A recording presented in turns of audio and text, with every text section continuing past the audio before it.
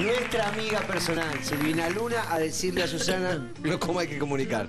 ¿Vos podés creer a dónde estamos llegando? No, bueno, pero está bien, lo de Susana entendió el mensaje. No a la cirugía de las listas. Las feas que vayan y se operen todas, porque son feas.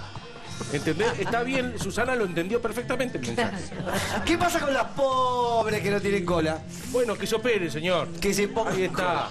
Eh, discúlpenos, Estela, eh, pero No, es así por esto. favor. Ay, ay, ay, qué difícil, Bueno, ¿eh? eh, eh, ¿qué le pareció este primer Vimos de todo. Bueno, eh, es la realidad que estamos viviendo. Esto, de esto no se escapa nadie, ¿no? De ver cosas, escuchar cosas. Decí la verdad, estuviste Eh. aprovechando para pensar en otra cosa. No, no, no, no, no, no, porque todo esto está también incluido en mi vida. Yo soy una ciudadana, no soy una estrella que estoy ahí en el cielo dando vueltas, sino piso la tierra, veo, a veces haciendo zapping me engancho. Porque quiero saber también, no claro. es que digo esto, no, porque no. Eh, no como este chico dice, ¿quién es? ¿quién es? ¿quién es? Que no sabía Sí, nada.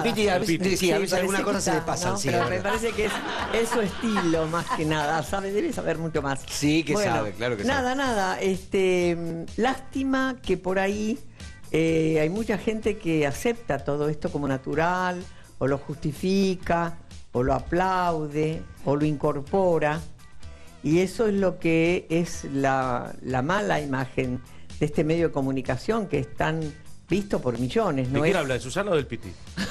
no, De eh, yo digo más que nada de Susana, que es este, o de Mar- María Marta Serralima, También. ¿no? Que también son personas que tienen méritos personales, porque tiene una voz maravillosa esa señora, este, pero el, el pensamiento ideológico que tiene es muy feo, ¿no? Entonces, este, si hay gente que la quiere y la admira, por ahí se prenden eso. Claro. Es contagioso.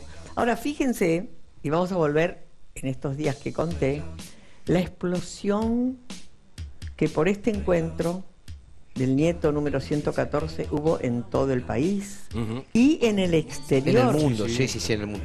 Pero ahora están estudiándolo, escuché que hay que estudiar el porqué y aprovechar ese porqué también. Perdón, una pregunta. ¿Es cierto lo de el boom de llamados a, a ma- a ma- a abuelas? Y abuelas increíbles. Es cierto Le-. Los teléfonos no daban abasto para los chicos que querían venir a consulta. Y la CONADI, que también es el otro espacio del, del Estado que recibe a chicos por el mismo tema, tampoco daban abasto los que trabajan porque era enorme la cantidad.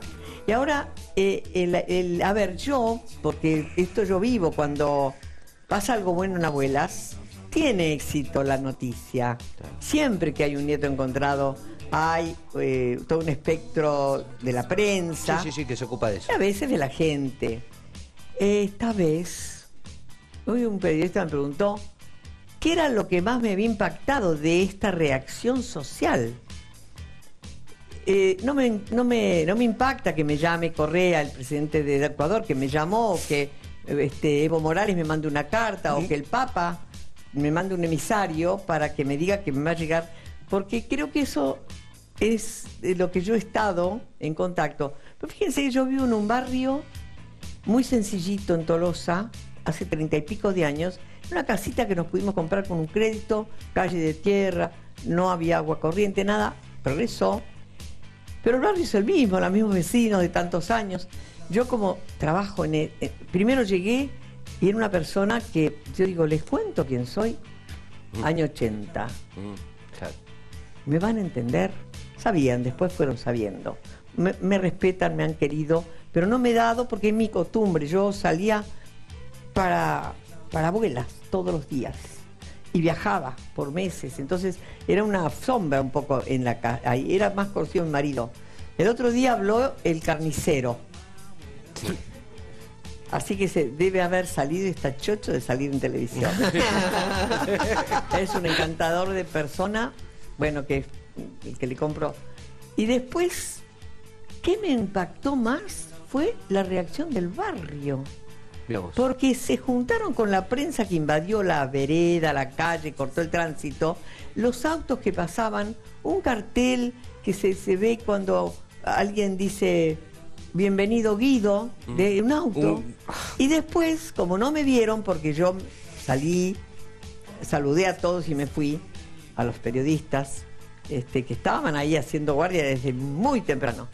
Encuentro en el buzón de, de mi casa las cartas de esos vecinos, en un papel cualquiera que encontraron y así con un- el cariño, la felicidad y, y- y- y el amor de esa gente que nunca me lo había expresado. De tantos Así que años para estar mí tan cerca. No me asombra Correa, porque ya me lo expresó y yo fui, he estado, sino eso manifiesto de esa gente que además no se animaban, a lo mejor. Para no invadirte señora- a lo mejor, claro. Para Claro, porque- pero no, se soltaron, ahora salgo, me agarran la mano, ¿viste?